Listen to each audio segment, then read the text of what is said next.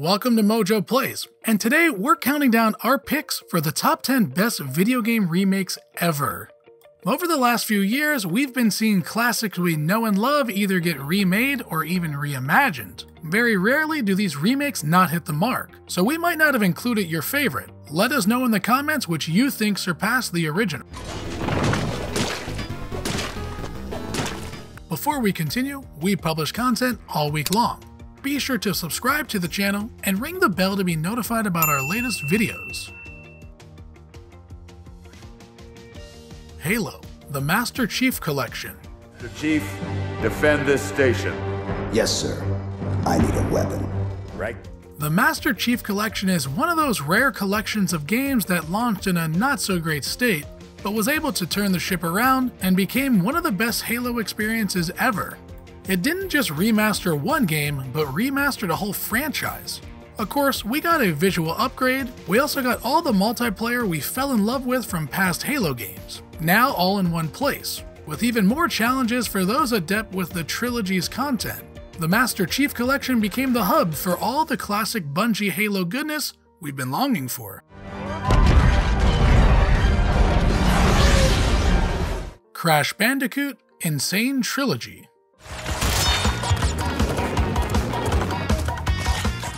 Every 90s PlayStation fan loves Crash Bandicoot. After the original trilogy, the game sort of fell off. The N. Sane trilogy took the first three games and brought them to modern consoles. While the game may look like a crazy 4K upgrade, there is much more to this collection. We remember Crash feeling great, but let's be honest, while the controls were amazing for the time, they weren't as good as today's standards. The N. Sane Trilogy added tighter controls and upgraded the physics. All the classic levels we remember are here, and some new additions. It even added some of the more difficult levels that were cut from the originals. Crash wasn't the only beloved PS1 mascot to get the remake treatment. The original Spyro trilogy also got a great remaster in the Spyro Reignited trilogy, which offers the same great nostalgia trip.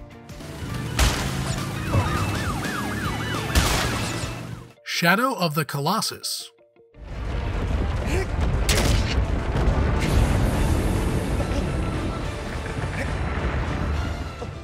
Bluepoint can do no wrong when it comes to recreating amazing worlds.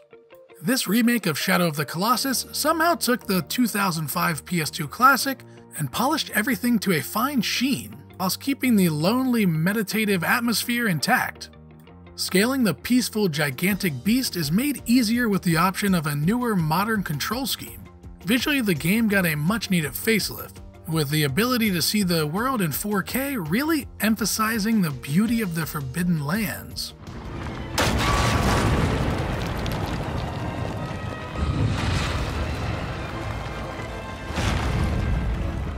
Tony Hawk's Pro Skater 1 Plus 2 very rare a remake can save a franchise, but Tony Hawk's Pro Skater 1 Plus 2 brought the classic series back into the limelight. All the classic levels are back, from the iconic warehouse in Pro Skater 1 all the way to School 2 from Pro Skater 2. All the character models are back, with new skater additions including Tony Hawk's son, Riley Hawk. Most of the original soundtrack made its way into the remake as well, it kept the tight controls and added reverts, allowing for much more versatility to combos.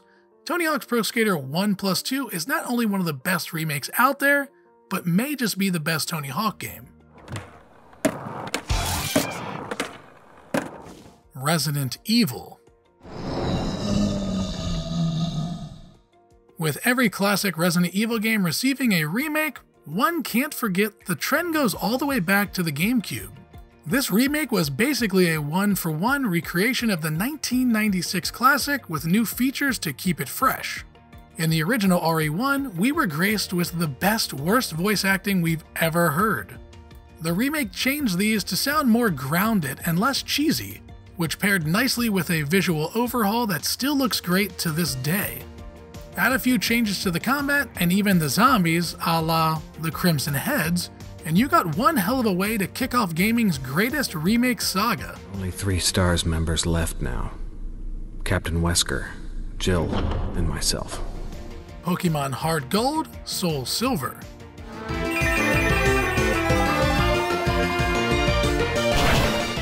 How can you remake a game that is almost perfect? Heart Gold and Soul Silver took what made the original games great and added so much more in terms of the battle system and general traversal. Obviously, the game got a new look for being on the DS, using the same engine as Diamond and Pearl.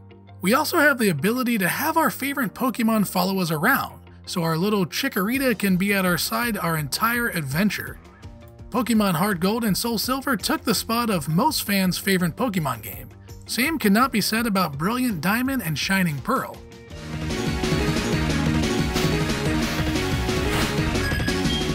Demon's Souls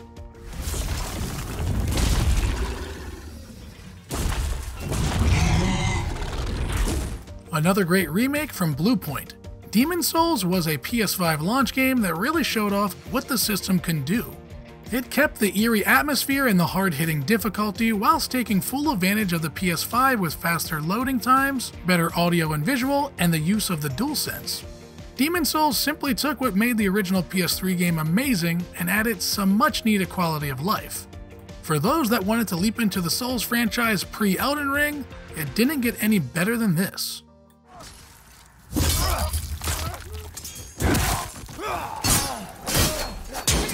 Black Mesa.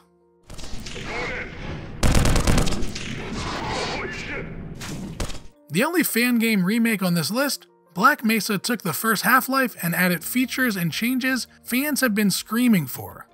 Just like all the games on the list, Black Mesa had visual upgrades, but a lot more was changed for this remake.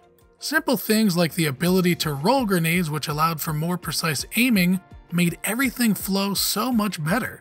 The addition of Half Life 2 mechanics was a great feature as well, so we could grab objects scattered throughout the world and use them in combat if need be. Possibly the biggest change in this remake is the overhaul of Xen.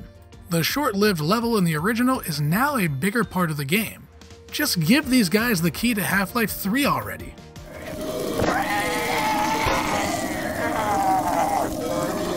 Final Fantasy VII Remake. Hell yeah! You see the damage that did? Keep it up. Of course, this was going to make the cut, taking one of the most iconic PS1 RPGs of all time and giving it from the ground up remake and somewhat of a retelling. Final Fantasy VII Remake is the beginning of the trilogy that united newcomers and hardcore fans in awe due to how devastatingly good it was. Taking a small part of the original game and turning it into a 30 plus hour action RPG, expanding the lore in certain cases, whilst also introducing a brand new battle system that became as addictive as it was fluid. It may not be a one for one remake, but still has the charm and world building that FF fans have come to adore, and we still have two more parts to go. How sweet. When did you get so thoughtful? Guy can change. Has been five years. Resident Evil 2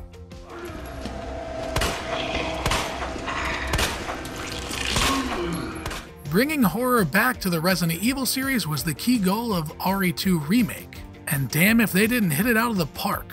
RE2 Remake took the horrifying Raccoon City and the iconic police station, rearranged some aspects, before bringing in a fresh dose of terror courtesy of Mr. X.